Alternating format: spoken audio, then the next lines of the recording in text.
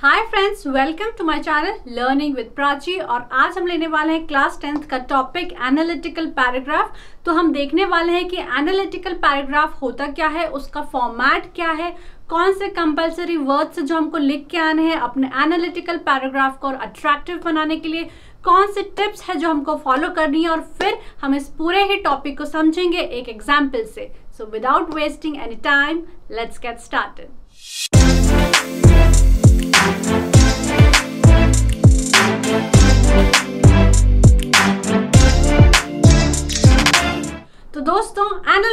paragraph होता क्या है? एनालिटिकल पैराग्राफ में दो वर्ड होते हैं एनालिटिकल और पैराग्राफ यानी आपको कोई भी ग्राफ चार्ट या टेबल दे दी जाएगी। आपको उसको एनालाइज करना है और उसके बेसिस पे एक पैराग्राफ को लिखना है।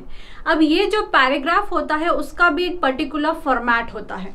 यानी कि उसमें होता है इंट्रोडक्शन बॉडी और कंक्लूजन अब इंट्रोडक्शन में हमेशा हम एक जनरल ओवरव्यू की बात करते हैं एंड जनरली जो लाइन हम इसमें लिखते हैं, वो हम क्वेश्चन में से ही लेते हैं, ठीक है? जैसे ग्राफ का अगर कोई क्वेश्चन आपको आ जाता है तो क्वेश्चन में लिखा हुआ आता है कि यहाँ पे एक डेटा की बात करी गई है, जिसमें ये और ये बताया है। तो आपको अपने मन से सिर्फ़ इतनी लाइन लिखनी है द ग्राफ शोज़ ठीक है?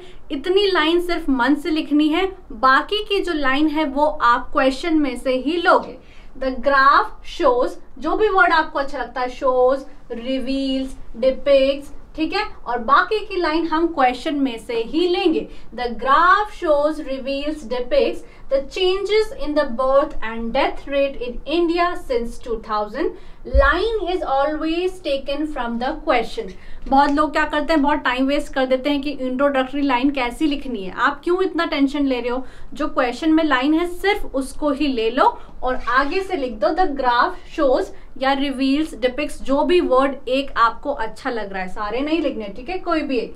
नेक्स्ट आती है बॉडी अब बॉडी में हम पूरे फैक्ट्स की बात करते हैं कि क्या फैक्ट्स क्वेश्चन में दिए हुए हैं, ठीक है? अब ये कैसे शुरू करते हैं? इसकी लाइन होगी it is clearly evident from the pie chart dash dash dash ठीक है? जैसे कोई भी आपको एक दे दिया गया है ग्राफ ठीक है? अब यहाँ पे हमको क्लियरली दिख रहा है कि ए की कुछ सेल्स थी, यहाँ पे थर्टी थाउज़ेंड वो हो गई फोर्टी थाउज़ेंड ठीक है? और बी की थी इनिशियल में ट्वेंटी थाउज़ेंड वो और घट के हो गई टेन थाउज़ेंड तो एक बारी में मेजर डिफरेंस हमको क्या दिखाई दे रहा है? कि क्लियरली हम देख सकते हैं कि यहाँ के लोगों को प्रोडक्ट ए ज़्यादा अच्छा लगता है एज कंपेयर टू बी तो हम लिखेंगे it is clearly evident from the graph that people of so and so placed liked product A more than product B in the year 2016 and 17 ठीक है? तो पहली ही लाइन में इंट्रोडक्शन की आप क्लियरली एविडेंट कर दोगे कि ये तो हम साफ़ साफ़ ही देख सकते हैं। ठीक है? और जो भी मेजर डिफरेंस होगा उस क्वेश्चन का वो आप दे दोगे। ठीक है? जैसे अगर कोई पाई चार्ट दे दिया और उसमें सबसे ज़्यादा परसेंटेज किसी एक सेक्शन को है तो आप लिख दोगे it is clearly evident from the pie chart that majority of the people dash and dash and dash ठीक है?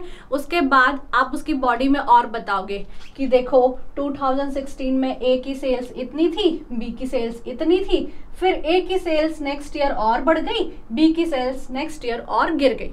ठीक है? क्लियर और ऐसे करके आप पूरे फैक्ट्स क्लियर कर दोगे बॉडी में। नेक्स्ट इज़ कंक्लूजन अब कंक्लूजन भी सिमिलर ही होता है इंट्रोडक्शन के, लेकिन हम थोड़े से वर्ड्स यहाँ पे चेंज कर देते हैं। अब यहाँ पे हम यूज़ करते हैं ओवरऑल या फिर इन अ इन अ का मतलब है, मोटा माटी हम कह सकते हैं कि ऐसा ऐसा ऐसा है। तो मोटा माटी हम कह सकते हैं कि दिल्ली के लोगों को प्रोडक्ट ए ज़्यादा अच्छा लगता है as compare to product B ठीक है? तो ये वर्ड्स हमको यूज़ करने तो ये प्रॉपर हमारा हो जाता है फॉर्मेट ऑल राइट अब कुछ वर्ड्स हैं जो हमको यूज़ करने हैं कंपल्सरीली हमारे पैराग्राफ के लिए ताकि हम उसको और अट्रैक्टिव बना सकें। ठीक है? तो सबसे पहले जब भी हम ग्रोथ की बात करेंगे, जैसे यहाँ पे हम प्रोडक्ट ए की ग्रोथ की बात कर रहे हैं, ठीक है? ए ट्वेंटी थर्टी थाउज़ेंड पे था और अब फोर्टी थाउज़ेंड पे हो गया और जो हमारा बी था, वो ट्वेंटी थाउज़ेंड पे था और गिर के टेन थाउज़ेंड पे हो गया। तो यहाँ पे हम ग्रोथ की बात कर रहे हैं, ठीक है? तो मैं यहाँ क्या लिख सकती हूँ? वर्ड स्काई रॉकेटेड तो मैं यहाँ लिख सकती हूँ the growth of product A sky skyrocketed from 2016 to 2017 by so and so units, या फिर so and so percentage. Similarly मैं लिख सकती हूँ बी के लिए क्या लिखूँगी? यहाँ पे इसकी ग्रोथ स्काई रॉकेटेड तो नहीं हो रही है डिक्लाइन हो रही है. तो यहाँ पे क्या वर्ड यूज़ करूँगी? The growth of B declined by so and so percent या सो एंड सो यूनिट्स ठीक है? अब स्टैगनेंट कब यूज़ करते हैं? स्टैगनेंट यूज़ करते हैं। जब इस साल भी मेरी सेल्स मान लो, मेरी शॉप थी मोबाइल फ़ोन की, और इस साल भी मैंने दस हज़ार प्रोडक्ट्स ही बेचे, और पिछले साल भी मैंने दस हज़ार प्रोडक्ट्स ही बेचे थे। तो मेरी ग्रोथ क्या हो गई? स्टैगनेंट हो गई। मतलब पिछले साल भी उतनी थी, इस साल भी उतनी है, ठीक है? तो मेरी ग्रोथ हो गई वहाँ पर स्टैगनेंट पीक हम कब यूज़ करते हैं? जब मैक्सिमम मैंने सेल्स करी हो पर्टिकुलर पीरियड में। जैसे यहाँ पे ए की मैक्सिमम सेल्स कहाँ पे हुई है? 2017 में। तो मैं लिख दूँगी कि प्रोडक्ट ए की सेल्स उसके पीक पे थी in the year 2017 all right यहाँ पे हम started to rise started to fall जैसे यहाँ पे और भी अगर दिए हुआ रहता डेटा आगे तो मैं लिख सकती थी प्रोडक्ट ए की growth started to rise from the year this and this and this और तब तक बढ़ती रही या स्टार्टेड टू फॉल ठीक है? इस तरीके से। यहाँ पे या फिर हम ये भी देख सकते हैं कि यहाँ पे एक शार्प इंक्रीज हुआ है। मान लो, ये 50 पे न जाके 40 पे न जाके और 100 तक चली जाती। तो मैं बोलती कि प्रोडक्ट ए में हम एक शार्प प्रोडक्ट ए की ग्रोथ में हम शार्प राइस देख सकते हैं, ठीक है? या फिर प्रोडक्ट बी की ग्रोथ में हम एक शार्प फॉल देख सकते हैं, ठीक है? तो ये कुछ वर्ड्स हैं जो हम यूज़ करेंगे तो हमारा एनालिटिकल पैराग्राफ और ज़्यादा अट्रैक्टिव लगेगा। नेक्स्ट इज़ रिलेशनशिप बताने के लिए, ठीक है? अब सिमिलरली कहाँ से निकला है? वर्ड सिमिलर से मतलब एक जैसे। मान लो यहाँ पे ए की भी ग्रोथ हो रही होती और बी की भी ग्रोथ हो रही होती। तो मैं क्या बोलती? कि ए की तो ग्रोथ हुई है सिमिलरली बी की भी ग्रोथ हुई है फ्रॉम ईयर 2000 फ्रॉम 2016 टू 2017 ठीक है? लेकिन अभी क्या हो रहा है इस ग्राफ में? बी की ग्रोथ गिर रही है। जब ए की तो बढ़ रही है, लेकिन बी की गिर रही है। तो यहाँ पे कौन सा वर्ड यूज़ करूँगी? In contrast to in contrast to का मतलब है ऑपोजिट हो रहा है। ए की ग्रोथ बढ़ रही है 2016 से 2017 में, लेकिन इन कंट्रास्ट टू ए हम बोल सकते हैं कि बी की जो ग्रोथ है, वो डिक्लाइन हुई है। फ्रॉम 2016 टू 2017 ठीक है? तो जब सेम पैटर्न आप देखेंगे तो आप बोलेंगे सिमिलरली जब ऑपोजिट पैटर्न आप देखेंगे तो आप यूज़ करेंगे इन कंट्रास्ट टू ठीक है? जैसे कोई पाई चार्ट है, उसमें जो हाईएस्ट परसेंट रहेगा, आप बोलोगे सो एंड सो का हाईएस्ट था in contrast to so and so इसका परसेंट बहुत ज़्यादा कम था, ठीक है? और नेक्स्ट है हमारा क्वांटिटीज क्वांटिटीज में आ जाता है highest lowest on an average percentage तो इससे क्या होता है? मैं सिर्फ़ इंक्रीज यूनिट्स में नहीं बता रही हूँ या डिक्रीज सिर्फ़ यूनिट्स में नहीं निकाल रही हूँ. मैं थोड़ा सा परसेंटेज भी बता देती हूँ कि ए ना सिर्फ़ इतनी यूनिट से बड़ा, बल्कि it was a major change और यहाँ पे इतना परसेंट ज़्यादा सेल्स हुई. ठीक है? तो मैं परसेंट निकाल दूँगी और उसको और अट्रैक्टिव बना दूँगी. ठीक है? अब हमारी जो फाइनल टिप है एनालिटिकल पैराग्राफ के लिए वो ये है number one no personal observation analytical paragraph में आपको अपनी पर्सनल ऑब्जर्वेशन या पर्सनल इन्फॉर्मेशन डालने की बिल्कुल भी ज़रूरत नहीं है। जो भी आपको ग्राफ पाई चार्ट या टेबल में दिख रहा है, बस वही आपको डालना है और कोशिश करना जो सेंटेंस का टेंस है, वो सेम ही रहे थ्रू आउट ठीक है? Next is observe highest lowest जैसा कि हम बात कर चुके हैं, पहले ग्लांस में आपको यही देखना है कि कोई चीज़ हाइएस्ट पे कब थी और लोवेस्ट पे कब थी या उस पाई चार्ट में सबसे हाइएस्ट चीज़ क्या है, सबसे लोवेस्ट चीज़ क्या है। ठीक है? नेक्स्ट इज़ मेजर डिफरेंस जैसे कि कोई पाई चार्ट आ जाएगा तो उसमें कोई चीज़ फिफ्टी सिक्स परसेंट पे है दैट इज़ हाईएस्ट और एक चीज़ इलेवन परसेंट पे। तो एक मेजर डिफरेंस हम देख सकते हैं, जो कि आपको अपने पैराग्राफ में डालना ही डालना है। And next is crisp language crisp language कैसे बनेगी? जब आप ये सारी चीज़ें उसमें लिखोगे कि ए की सेल्स स्काई रॉकेटेड हो गई या बी की सेल्स डिक्लाइन हो गई, या यहाँ पे हम उसको पीक पे देख सकते हैं, या यहाँ पे ग्रोथ स्टैगनेंट है और फिर हमने कुछ कैलकुलेशन करके परसेंटेज भी डाल दिया। तो ये सारी चीज़ें आपके एनालिटिकल पैराग्राफ को और ज़्यादा अट्रैक्टिव बनाएँगी और अब हम एक एग्ज़ाम्पल के थ्रू इन सारी चीज़ों को समझेंगे। तो दोस्तों, हमारा एग्ज़ाम्पल है the chart below displays data about the number of digital devices purchased in Rishinagar across the years 2015 to 2019 write a paragraph analyzing the given data. तो सबसे पहले तो हमको ये देखना है कि ये क्या दिया हुआ है। ये ग्राफ है या टेबल है या पाई चार्ट है। तो हमने देख लिया कि ये ग्राफ दिया है, ठीक है? अब क्वेश्चन पढ़ के हमको पता चल गया कि यहाँ पे डिजिटल डिवाइसेस की बात करी गई है, ठीक है? डिजिटल डिवाइसेस में हमको दिया हुआ है कि एक स्मार्टफ़ोन है और एक कंप्यूटर है। नीचे ईयर्स दिए हुए हैं और यहाँ पर क्या दिया है? डिवाइसेस दिया है यानी फिगर्स इन सेल्स कि कित, कौन से कितने बिके हैं और कौन से साल में बिके हैं। क्लियर इतना हो गया। अब हमने शुरू में डिस्कस करा था कि इंट्रोडक्टरी लाइन हमको क्वेश्चन में से ही लेनी है।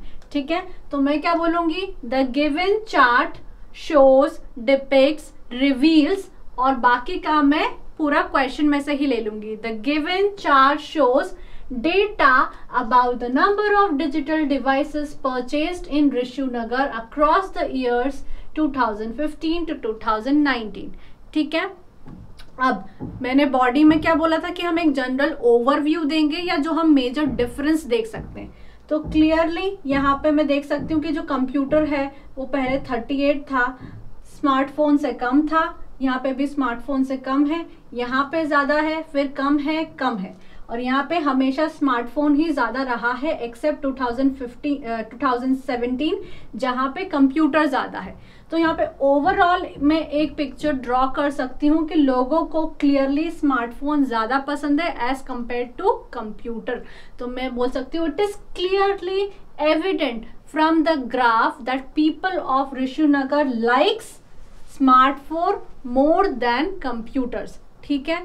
फिर मैं बता दूँगी कि कौन सी ईयर में कितनी सेल्स रही है। मैं अप्रॉक्सीमेट फिगर्स लिख लूँगी कि 2015 में ऐसा था 2016 में ऐसा था 2017 में ऐसा था। फिर हमने बात करी थी कि कुछ वर्ड्स हैं जिसको लिख के हम अपने एनालिटिकल पैराग्राफ को और अट्रैक्टिव बना सकते हैं, ठीक है?